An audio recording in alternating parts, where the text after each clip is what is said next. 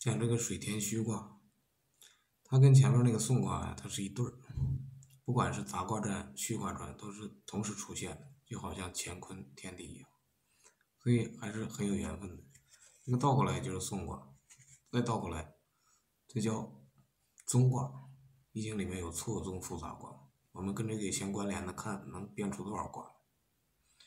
这个虚上面是水，下面是天。这个字上面是鱼，下面是儿。鱼水儿，孔子里面啊，《论语》有一个学而篇，就是学天篇。实际上，虚就是说人需要，必须需要什么呢？啊，人生下来人是铁，饭是钢，最基本的需要就是食色性也，先有食物。有了虚之后，他就安于享受，就不前进了。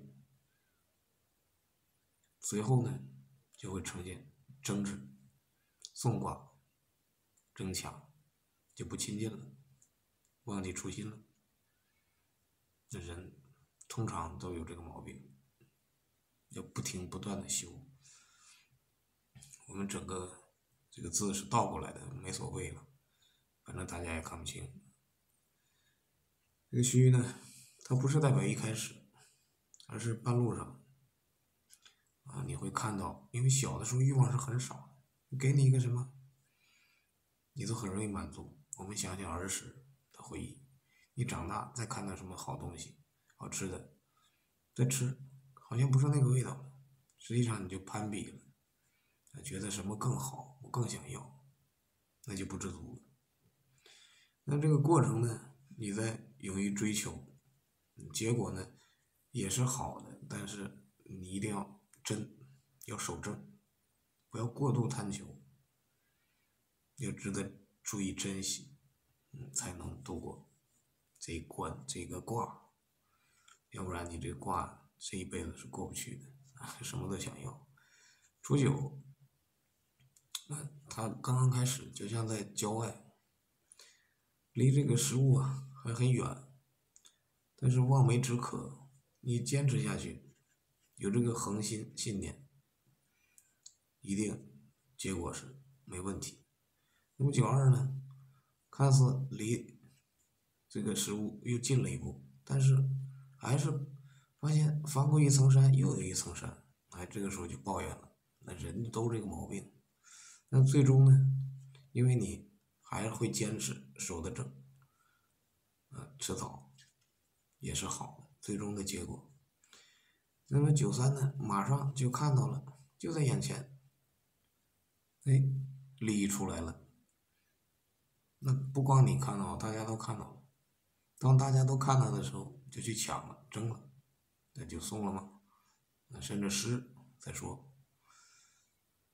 那么就像盗贼来了一样。大家一窝蜂的去抢，哎，这个时候就很多危险变数了，你要啊怎么去应应，很注意。那六四呢？哎，也不管了，大家抢的争的血肉模糊，那怎么办呢？是咎由自取。那谁让你需要呢？谁让你想要呢？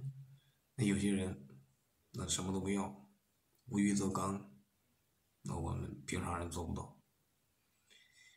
那九五呢？